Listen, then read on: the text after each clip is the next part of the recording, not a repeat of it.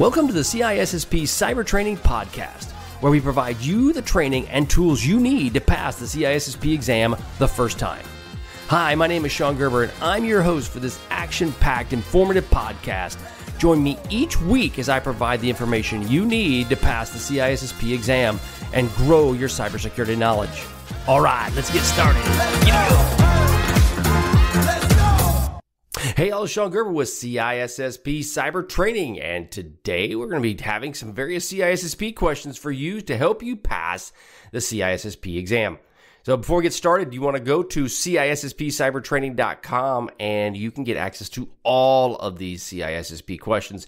All you have to do is just sign up for my email list and you can get access to 30 free CISSP questions every single month. And if you like that, you can try before you buy. If you like that, then you can get access by purchasing my membership or one of the other programs we have, and you can get access to all of my CISSP questions.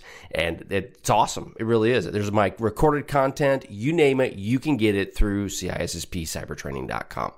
Okay, so let's talk, start talking about CISSP questions, and let's get on with question number one. We're going to be focused on domain six.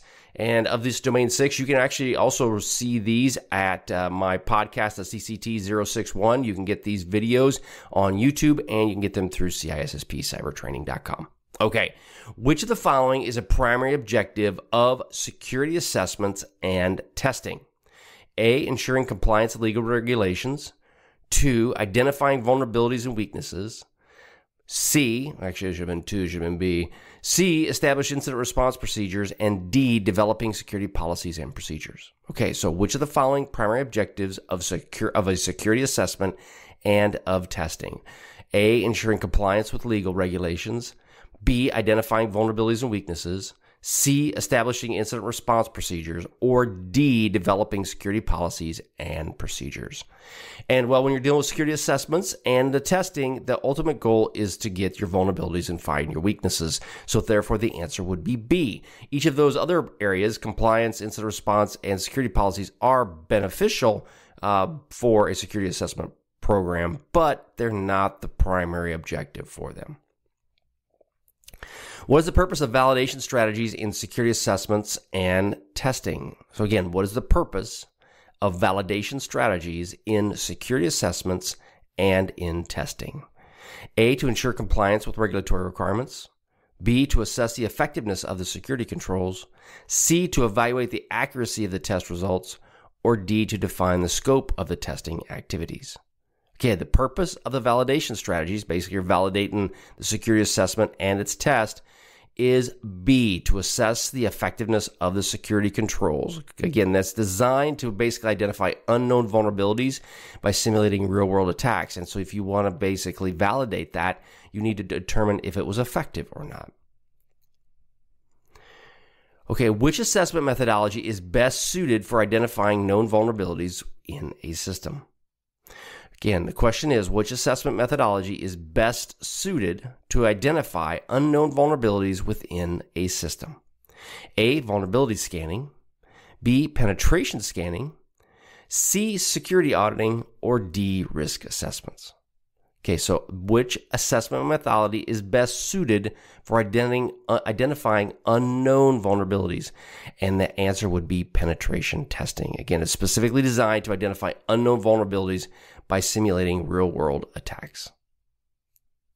Question four What is the essential consideration when creating test data for security assessments? So, again, what is the essential consideration when creating realistic test data for security assessments? A. Including live production data. B. Using sensitive customer information. C. Maintaining data confidentiality or D, avoiding anonymization techniques. Okay, so what is the essential consideration when creating real, realistic test data for security assessments? So you're wanting to make sure that you create this realistic test data, but what is the purpose behind it? Or main consideration that you want to do it when you're adding this this data, this test data to it, Um, you're so you're grabbing data and you're putting it in there to basically run and see if it works. What is the main consideration you need to keep in mind?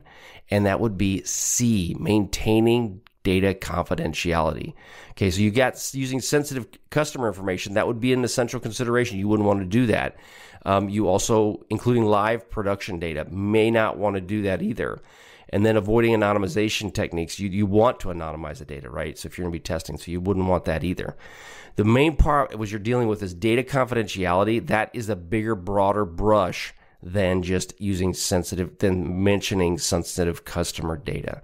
So that it's a kind of a tricky one because you may bite off on the sensitive customer information, but the real answer is maintaining data confidentiality. Question five Which of the following is a critical step in the audit process for security assessments and testing? A. Identifying vulnerabilities. B. Conducting penetration testing. C. Engaging external auditors. Or D. Implementing remediation measures.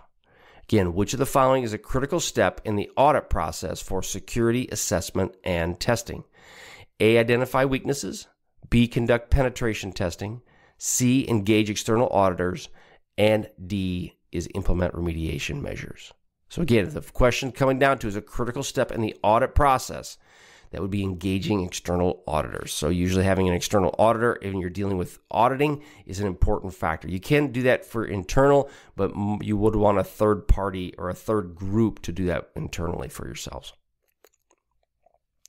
Question six What is the primary purpose of continuous improvement in security assessment and testing? A. Identifying vulnerabilities and weaknesses. B. Ensuring compliance with legal regulations. C. Enhancing the effectiveness of assessment processes. Or D. Developing security policies and procedures. Okay, again, the question was the primary purpose of continuous improvement in security assessment and testing? A. Identifying vulnerabilities and weaknesses. B. Compliance and regulations. C. Enhancing the effectiveness of assessment processes. Or D. Developing security policies and procedures. The primary purpose of continuous improvement is C. Enhancing the effectiveness of assessment processes. Again, continuous improvement aims to enhance the effectiveness of your security assessment and testing over time. Question seven What is a common validation objective in security assessment testing? A. Compliance with legal regulations. B. is Accuracy of assessment documentation. C. Alignment of industry standards. Or D. Development of risk plans, risk mitigation plans. Again, what is a common validation objective in security assessment and testing? And the answer would be compliance with legal regulations. The, the per, one of the main purposes of a security assessment and the testing that goes with it is to help you come in line with compliance around legal regulations that might be out there. There, depending on the industry you're in, you may have to have various audits or assessments done to ensure that you will comply with those legal regulations. Uh, one would be data security law with China. There would be ones with uh, in the United States is your PCI DSS. All of those fall within that environment. Question eight Which audit strategy develops an unbiased evaluation of an organization's security posture? A. Internal audits. B. External audits. Three, uh, three. C. Third party audits. Or D. Compliance audits. Again, which is an unbiased evaluation of the organization's security posture? And the answer would be C. Third party audits. They do typically provide an unbiased evaluation of your organization's security structure. An external audit might be somebody you actually work with, you maybe you know them. Uh, that would be a situation where that might not be as as unbiased as you possibly might like. Okay, question nine. Well, before we get into question nine, just want to again put out a plug for CISSP cyber training. Go check it out. You can also go to freecisspquestions.com and you can get access to my 30 free CISSP questions every single month for the next year. I mean, you'll get them 360 uh, questions to help you. That's 30 free CISSP questions at freecisspquestions.com. Question nine Which of the following examples of an external audit in security assessments and testing? A. Self assessment of internal auditors. B. Review the security policies by management. C. An assessment conducted by an independent consulting firm. Or D. Evaluation of control effectiveness by the IT department. So, which of the following is an example of an external audit in security assessment and testing. So, again, external audit. And the answer is C, an assessment conducted by an independent consulting firm. If you look at the rest of the questions, you got to deal with internal auditors, you got management, and you have the IT department. That is an, not typically an external audit. An independent consulting firm would be an external audit. Question 10 What is a recommendation approach, a recommended approach for addressing identified vulnerabilities in security assessments? So you have a security assessment, you find some vulnerabilities. How should you address those? A, ignore low severity vulnerabilities. B, prioritize vulnerabilities based on severity. Conduct an additional assessment for confirmation. Or D, focus solely on technical controls. Now, if you read through these, they'll make kind of sense, right? So you you definitely want to deal with severity, and but ignoring anything is usually not good. I mean, there might be a time you might do that, but typically isn't something you would do. Um, you really don't need to once you've just conducted an assessment. You don't need to do another one unless you really want to just spend money. So the answer would be B: prioritizing vulnerabilities based on severity. So again, that's the recommended approach for identifying vulnerabilities in security assessments is to prioritize them based on the severity and then address them as needed. Question 11. Which aspect of a security assessment and testing should be continuously updated to reflect emerging threats? A. Test plans and procedures. B. Regulatory compliance requirements. C. Security control documentation. Or D. Audit reporting templates. So, again, which aspect of the security assessment and the test should continuously be updated to reflect emerging threats? When you're basically testing your plans and procedures, that's the threats will change, right? From ransomware to a worm that may roll in to different, you may have a stray backhoe that hits out, takes out your network. Those are different. So you may have different test plans and procedures, and you may modify those to meet these emerging threats. Next question What is the purpose? Purpose, what is the purpose of a performance evaluation in security assessments and testing? A, assess the effectiveness of the controls. B, monitor the progress of the remediation activities. C, evaluate the competence of the individuals, individuals involved in the assessment. Or D, validating compliance with regulatory requirements. So, again, what is the purpose of performance evaluations? Again, you're doing a review of the person in a security assessment and testing. You, the purpose of that is that you are evaluating their competence in what they're doing. So it would be answer would be C. So that's the the ultimate goal is that you are trying to figure out are they the person that will actually understand what they're doing and are they capable of doing it. Question 13 Which of the following is used to validate effectiveness controls during a security assessment testing? Question What is the question? What is the method is used to validate the effectiveness of controls during security assessments and testing? A. Penetration testing. B. Risk assessments. C. Security auditing. Or D. Vulnerability scanning. Again, which method is used to validate the effectiveness of controls during a security assessment and testing? The answer, or the answer is C, security auditing, right? Security auditing is a way to evaluate the effectiveness of the controls during a security assessment and test. Question 14 How can collaboration and knowledge sharing contribute to continuous improvement in security assessments and tests? A. Facilitating the exchange of ideas and experiences. B. Reducing the need for external audits. C. Streamlining the assessment process. Or D. Minimizing the need for remediation efforts. So question is again, how can collaboration and knowledge sharing contribute to continuous improvement in security assessments and testing?